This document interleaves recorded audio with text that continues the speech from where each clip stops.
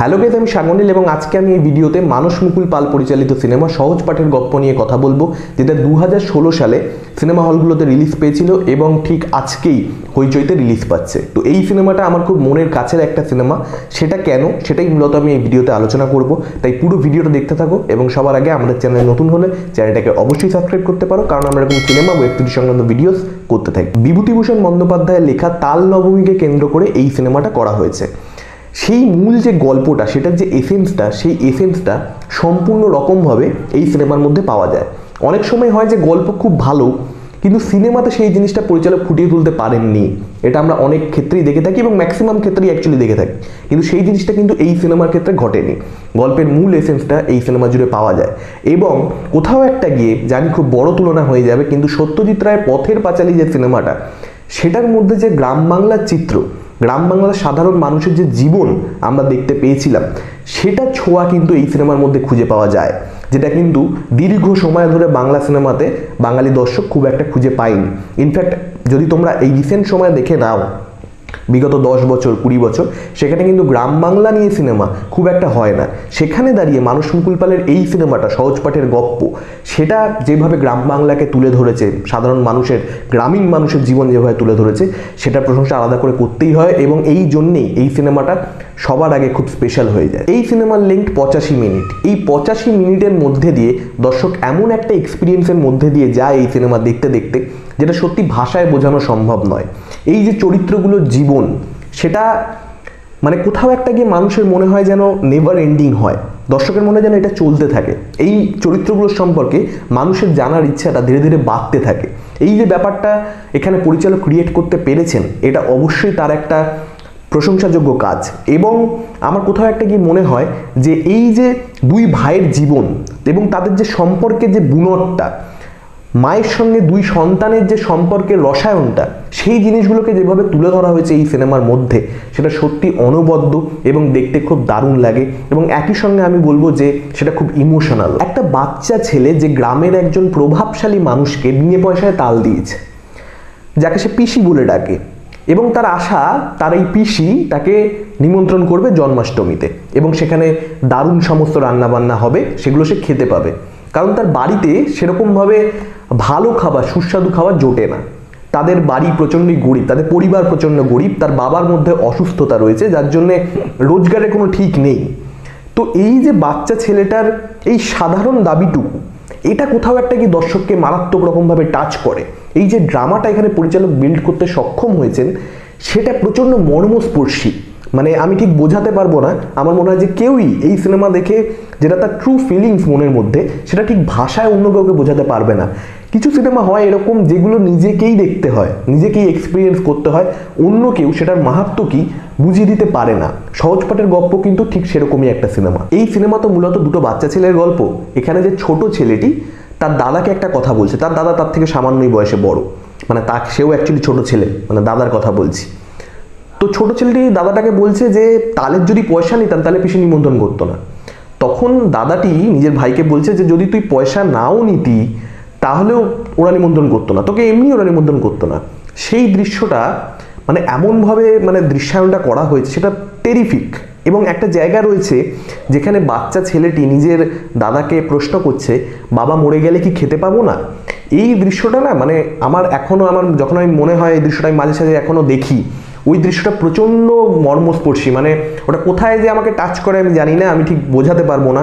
একটা জায়গা রয়েছে যেখানে এই দুই ভাই ডিম ভাজা খাব, ডিম ভাজা খাব করে দুজনে মিলে নাচতে থাকে এবং সেই নাচার মধ্যে যে সিম্পলিসিটি সেটা মানে ভাষায় প্রকাশ করা সম্ভব নয়। সেই সিম্পলিসিটি অন্য লেভেলের এবং আমার কোথাও একটা গিয়ে এই দৃশ্যটা দেখে আমি যখনই দেখি আমার মনে হয় যে, এই যে আমাদের জীবনের এত চাহিদা, এইটা চাই, সেইটা চাই, যে যেখানে আছে, তার তার থেকে আরও বেশি চাই। আমার মনে আছে লাঞ্চ বক্স সিনেমাতে ইরফানের একটা ডায়ালগ রয়েছে ইরফানের যে, আমরা প্রত্যেকে অন্য, একে অন্যের জীবন চাই।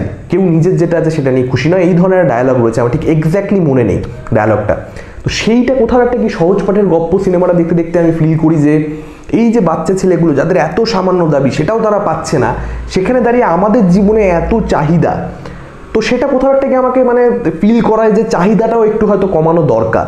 এবং এই যে দর্শক হিসেবে এই জিনিসগুলো আমি বোধ করছি, এই জিনিসগুলো আমার মনের মধ্যে খেলছে, এটাই কিন্তু এই সিনেমার সবচেয়ে বড় প্রাপ্তি বলে আমার মনে হয়। আমার মনে আছে আমি সৌমিত চট্টোপাধ্যায়ের একটা ইন্টারভিউ দেখছিলাম এবিপি আনন্দ সুমনকে দেওয়া একটা ইন্টারভিউ সেই ইন্টারভিউতে তিনি বলছিলেন যে আমাদের সারা দেশ জুড়ে গ্রামীণ অঞ্চল শহরাঞ্চলের থেকে অনেকটা বেশি পরিমাণে রয়েছে এবং ম্যাক্সিমাম মানুষই কৃষিজীবী পেশাতে।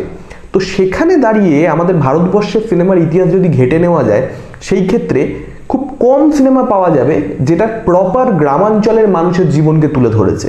প্রপারলি গ্রামকে তুলে ধরেছে এরকম সিনেমা রেয়ার আমাদের ভারতবর্ষের সিনেমার ইতিহাসে। আমি শুধু বলিউডের কথা বলছি না বা বাংলা সিনেমার কথা বলছি না। বাংলা ইন্ডাস্ট্রির মতন আরও যে কোনো রিজনাল ইন্ডাস্ট্রি তারা যে ধরনের সিনেমা বানায়, সেটা প্রপারলি আমরা দেশকে কি তুলে ধরে? আমাদের দেশের যেটা অ্যাকচুয়ালি জনজীবন, সেটাকে কি তুলে ধরে? তো সেখানে দাঁড়িয়ে আমার মনে হয় যে সৌমিত্র চট্টোপাধ্যায় হয়তো সহজ পাঠের গপ্পর মতনই সিনেমার কথা বলছিলেন। এই সিনেমাটার মধ্যে এক্সট্রাঅর্ডিনারি অ্যাকচুয়ালি কী রয়েছে? প্রচুর টাকায় বানানো সিনেমা নয়। গল্পটা যে বিভৎস কিছু মাইন্ড ব্লোয়িং গল্প তাও নয়। কিন্তু এই গল্পটার মধ্যে রয়েছে সিম্পলিসিটি যেটা আমি আগেও বললাম যে এই সিনেমার মধ্যে পরিচালক সেটাকে ফুটিয়ে তুলতে সক্ষম হয়েছে তো সেই সিম্পলিসিটিটা এত ডেঞ্জারাসভাবে দেখানো হয়েছে, সেটাই কিন্তু এই সিনেমার মূল ইউএসপি এবং আমার কোথাও একটা কি মনে হয় যে এই যে সিম্পলিসিটি সেটাই কিন্তু সবচেয়ে দেখানো টাফ বিষয়, যেটা এখানে মানুষ মুকুল পাল করে দেখিয়েছেন। সামিউল আলম এবং নূর ইসলাম এই দুজন শিশু চরিত্র দুটোতে অভিনয় করেছিলেন। শিশু চরিত্রকে যেভাবে বাংলা সিনেমা সে তিরিশ বছর ধরে ব্যবহার করে এসছে, সেখানে দাঁড়িয়ে এই দুটো চরিত্র আমাদেরকে দারুণভাবে একটা রিলিফ দেয়। আমরা একটা শান্তির নিঃশ্বাস ফেলতে পারি, আমাদের একটা স্বস্তি হয় এবং সেটা ভাষায় বোঝানো সম্ভব নয়।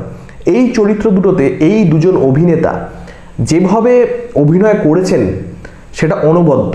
সেটা বলে বোঝানো সম্ভব নয়। এরকম পারফরমেন্স শিশু চরিত্র থেকে সাধারণভাবে মানে আশা করা যায় না। এবং আমি বলব যে, আমি যত শিশু চরিত্র দেখেছি, এত বছর ধরে আমি সিনেমা দেখছি এবং সেখানে যত শিশু চরিত্র আমি দেখেছি, আমার মনে হয় এইটা বেস্ট পারফরমেন্স আমার মনে হয় এটা বেস্ট পারফরমেন্স যদি অন্য কিছুও তার সঙ্গে থাকতে পারে যুগ্ম হিসেবে, কিন্তু এটা এক নম্বর থাকবে। আমি এতটুকুনি গ্যারান্টি দিতে পারি। এটা অনবদ্য পারফরমেন্স আমি, আমার মনে হয় যেটা হয়ে গেছে, এরকম পারফরমেন্স মানে দেওয়ার জন্য একটা ম্যাচুরিটি লেভেল দরকার। এবং যে দুজন বাচ্চা ছেলে এই চরিত্রটাতে অভিনয় করেছেন, আমার মনে হয় না যে সেই বয়সে ওই ম্যাচুরিটিটা আসা সম্ভব। কিন্তু আমি তাদের কৃতিত্বকে কোনোভাবে ছোট করছি না। ডেফিনেটলি তারা ভালো একটা যে কারণে তারা এই জিনিসটাকে পুল অফ করতে পেরেছে পুরো সিনেমাটাকে খুব রিয়েলিস্টিকভাবে ট্রিট করা হয়েছে। সেই অনুযায়ী ব্যাকগ্রাউন্ড স্কোর ব্যবহার করা হয়েছে। সিনেমাটোগ্রাফির যত প্রশংসা করব এই সিনেমার, তত কম। তো আমি একটাই কথা তোমাদেরকে বলব যে, আমার মনে হয় যারা এখন আমার ভিডিও দেখছ, তাদের ম্যাক্সিমাম দর্শকের সহজ পাঠের গপ্প সিনেমাটা দেখা। যদি না দেখা হয়ে থাকে, তাহলে আমি একটাই কথা বলব যে please go and watch this film মানে এই সিনেমাটার কোনো জুড়ি হয় না। শেষ দশ বছর বা কুড়ি বছরে যদি একটা লিস্ট বানানো হয় যে, বাংলা সিনেমার টপ টেন সহজ পাঠের গপ্প সেখানে ডেফিনেটলি থাকবে এবং খুব উপরের দিকে থাকবে। আর তার একটাই কারণ আমি আবারও যেটা বলব সেটা হচ্ছে সিম্পলিসিটি এই সিনেমা যখন শেষ হবে, তখন আমার মনে হয় যাদের হৃদয় রয়েছে, আমি জানি এটা খুব অতি করা হয়ে যাচ্ছে, কিন্তু যাদের মনে হয় হৃদয় রয়েছে তাদের আমার মনে হয় যে কান্না পাবে ডেফিনেটলি কান্না পাবে এই সিনেমার শেষে গিয়ে। তো এই ছিল আমার ওভারঅল রিয়াকশন এই সিনেমাটা সম্পর্কে। তোমাদের কি মতামত এই সিনেমাটাকে কেন্দ্র করে? আমাকে অবশ্যই কমেন্ট করে জানাতে পারো। ভিডিওটা ভালো লাগলে ভিডিওটাকে লাইক করতে পারো শেয়ার করতে পারো যে সিনেমা লাভার ফ্রেন্ডদের সঙ্গে। আমাদের চ্যানেল যদি নতুন হয় তাহলে চ্যানেলটাকে অবশ্যই সাবস্ক্রাইব করতে পারো। কারণ আমরা এরকম সিনেমা ওয়েব সিরিজ সংক্রান্ত ভিডিওস করতে থাকি। আজকের মতন টাটা, চোখ রাখো পরবর্তী ভিডিওতে